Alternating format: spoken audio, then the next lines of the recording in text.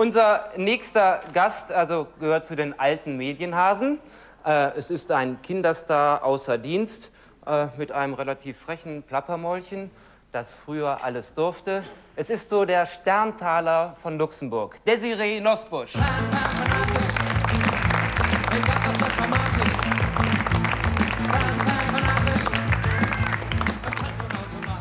Äh, Desiree, ich meine, das ist ja fürchterlich, weil wir machen jetzt auch die Mode. Der eine Moderator lädt den anderen ein, aber du bist ja im Moment Moderator außer Dienst. Äh, damit wir all diese Fragen über deine äh, Vergangenheit mal ausnehmen, ich habe mir einen Lebenslauf von dir aufgeschrieben. Ah. Lebenslauf, Vater Lastwagenfahrer, wurde entdeckt mit 12 von einem Radioprinzen, mit 13 von Radio Luxemburg wachgekützt, mit 14 erste Fernsehsendung, Spieglein, Spieglein an der Wand, wer hat das größte Mäulchen im ganzen Land, mit 16 Hans im Glück beim Film und mit 18 zog sie aus, das Fürchten zu lernen. Und da sie nicht gestorben ist, sitzt sie ja hier auf meiner Couch. Habe ich irgendwas vergessen? Das ist ein sehr kurzer Lebenslauf, ja. Naja, ich meine, du hast eine Wahnsinnskarriere hinter dir. Ich meine, äh, ist sie dir so buchstäblich in den Schoß gefallen oder wie kann man das überhaupt heutzutage so machen? Ich meine, es ist immer schwierig im Nachhinein, sich das nochmal so anzugucken. Und äh, die Sachen, die du gerade vorgelesen hast, das sind die Sachen, die nun immer herausposaunt werden. Das sind immer die Zeilen, die in den Zeitungen stehen, was man eigentlich wirklich ist oder was man will, weiß eigentlich keiner. Und naja. das ist auch eigentlich dann ganz langweilig und nicht interessant. Aber du machst doch so eine W-Karriere, also Radio, Fernsehen, Film. Ich meine, das ist doch schon irgendwie, da stellt man sich doch schon was vor. Was kommt denn dabei raus? Ein großer Filmstar. Äh, weiß ich, was dabei rauskommen wird, weiß ich nicht. Aber auf jeden Fall äh, will ich sehr ernsthaft Schauspielerin werden mhm. und habe verstanden, dass das für mich der schönste Beruf dieser Welt ist. Und das mache ich gerade. Sag mal, äh, in den letzten Jahren, oder im letzten, vor zwei Jahren, hast du ja in erster Linie von dir reden gemacht durch eine riesige Werbekampagne, den du für den Film Der Fan gestartet hast. Kommst du jetzt auf dieses berühmte Thema? Ja, ich meine, es war so eine tolle Werbung, weil, also wenn einer immer so öffentlich sagt, also ich will diese Nacktszenen in diesem Film nicht, dann muss ich doch sofort in diesen Film reingehen und sie sehen, ne? Nein, ich finde, ich, ich habe mal eine der ersten Personen, die ich, die ich interviewt habe, mhm. War vor vielen Jahren Kurt Jürgens. Das ist so und wie das, jetzt bei, ja. bei Blackie Fuchsberger. Weißt du noch damals, als wir zusammen und so weiter? Ja, ja, Nein, ja, ja. Das lief ja auch hier beim WDR. Ja. Und ich habe ihn damals, als ich noch nicht solche Probleme hatte, gefragt, hör mal, wie ist das denn mit Nacktszenen? Mhm. Äh, macht man die oder macht man die nicht? Mhm. Und er hat zu mir gesagt, weißt du, wenn das Drehbuch es erfordert und es für den Film wichtig ist, dann mach es. Mhm. Und der Meinung bin ich auch. Aber was das Problem so ist, ja, was das ne? Problem ist, ist das, was nachher die anderen daraus machen.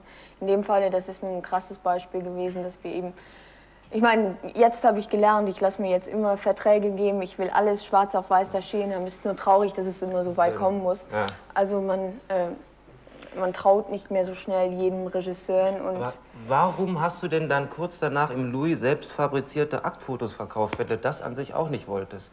Ich habe keine selbst fabriziert. Also ich habe hab das Louis aufgeschlagen und habe dich so in so verschiedenen Posen gesehen und so weiter und so fort. Hast du? Hab das ich, möchte ja, ich ja. gern sehen. Ja, das sind alles. Habe ich nicht dabei. Das sind alles. Da waren Privatfotos Fotos. dabei.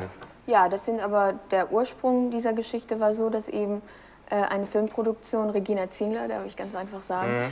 ihre ganzen Bilder, nachdem sie also merkte, dass ihr Film nicht läuft, die mhm. ganzen Nacktbilder, die sie hatte von einer 60-Sekunden-Szene, rausschickte an die ganzen Zeitungen. Und damit Kohle gemacht hat? Und damit anscheinend sehr viel Kohle gemacht hat.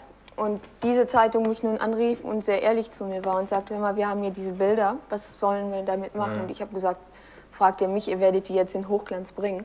Mhm. Und die sagten, nein, eben, das wollten wir vermeiden, können wir uns treffen und darüber reden. Und da sehr, sehr, sehr schlechte Bilder dabei waren unter diesen Filmbildern, habe ich gesagt, okay, machen wir einen Deal. Äh, Tauschen. Ihr, ich kriege die Filmbilder ja, und ja, ihr kriegt dafür ja. ein paar Bilder, die ich einfach sehr schön finde. Gut. Und, also die äh, haben dich ein bisschen erpresst, mit anderen Worten. Erpresst nicht, ja. nein. Ich fand also, das gut. Deinen großen Fernseherfolg Musikbox hast du ja aufgegeben, weil es so ein inhaltlicher Flachmann war. Ne? Also du hast immer gesagt, ja. ich will diese flache Unterhaltung nicht haben. Dann habe ich mich doch sehr gewundert, dass du dann ein Jahr später, also in einer ähnlich flachen Sendung vom WDR produziert, Popkarton, glaube ich, dann doch wieder moderiert hast.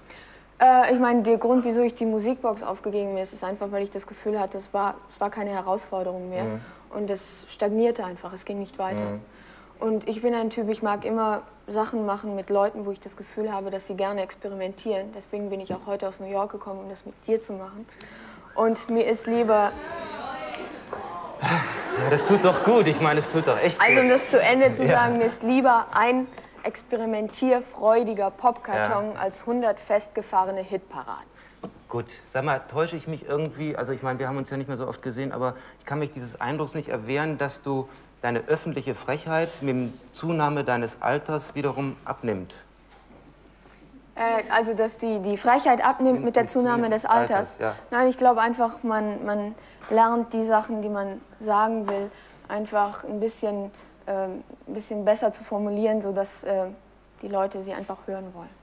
Also ist nicht mehr so die direkte Teenie-Frechheit. Nein, ist ich habe einfach gelernt, dass indem man den Leuten also den Gips über den Kopf schmeißt, wie es dir am Anfang gegangen ja, ist. Ja, ja, ja. Äh, es bringt nicht viel. Wenn man es aber sehr vorsichtig hier dahin tut, So, diesen hier, ja. dann äh, Sag mal, ist- hat das was mit der Wende zu tun? Ich meine, wir sind ja alle so ein bisschen vorsichtiger geworden. mit was zu tun? Ja, wir haben so eine große Wende. Du warst ja da drüben in den Staaten, da mit, äh, du hast es nicht so mitgekriegt. Meine, ist hier, hier ist so, hat so eine politische Wende stattgefunden Ach und so, man wird immer so so vorsichtiger und so weiter. Ich weiß nicht, man, man, man, ähm, ich, man verliert zu viel Zeit, einfach wenn man dann dauernd auf die Nase fällt und man muss dann wieder die Mhm. Zeit, die darauf folgt, damit verbringen, den Leuten zu erklären, wieso man was gemacht hat. Mhm. Also geht man vorsichtiger ran und verliert nicht mehr so viel Zeit. Ne? Was natürlich vor allen Dingen, glaube ich, also deine männlichen Fans interessiert und dazu habe ich auch noch eine Frage, die mich wirklich brennend interessiert. ähm, sag mal, äh, du hast da so einen Manager. Äh, ist das eigentlich dein fester... Was war denn? War irgendwas? Ja, War da nur war eine was. Frage, die Frage interessiert mich wirklich brennend, wirklich. Mhm. Also du hast da so einen Manager. Ist das eigentlich dein fester Freund? Ach, weißt du, ich finde das ein toller Typ, ne? Ja. Und äh, ja, hat jetzt auch noch gerade einen neuen Haarschnitt. Sieht noch besser aus. Das habe ich auch gesehen. Ich habe ihn ja vorhin gesehen. Und das ist wieder so ein. Punkt, wo ich einfach die Nase voll habe. In jeder Zeitung, die ich von dir gelesen jedem habe, Menschen immer das zu und erklären, und und Danks weil und die und meisten. Menschen einfach nicht verstehen, dass es auch freundschaftliche Verhältnisse geben kann, ohne eben dieses intime, sexuelle dahinter zu sehen. Aber da Endlich die wissen es meisten jetzt Menschen alle. es Ja, nicht es verstehen, wirklich öffentlich habe ich einfach keinen Bock Okay. mehr, das zu erklären. Okay? Du bist nach Amerika abgehauen. Sag mal, war das so eine rechtzeitige Flucht vor der Raketenstationierung? Oh. Ich habe die kleinen Russen auf meinem. Äh, das hat aber nichts Politisches zu tun. Nein, nein, nein. nein. Äh, nein, ich bin. Naja, es war vielleicht die Flucht vor was anderem als jetzt den Raketen. Also du lernst aber da doch, äh, du bist dort in der Schauspielschule, ne? Ich gehe ja seit anderthalb Jahren gehe ich da zu einer Schauspielschule. Und ähm, da ich lernst meine, du Schauspielern. ja, die versuchen Also, ich meine, du lernst an sich das, was du vorgegeben hast, vorher schon können, zu können, weil, oder hast du ohne Können in den vorherigen Filmen gespielt? Ich glaube, die vorherigen Sachen waren einfach Sachen, die ich eben nur spontan machen konnte, weil ich nicht.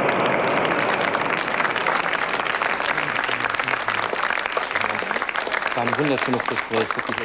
An sich sollte ich jetzt wieder zu diesem Umschaltpult gehen, aber Ja. äh, ich glaube, es äh, lohnt sich Mal gucken, wie die Frauen.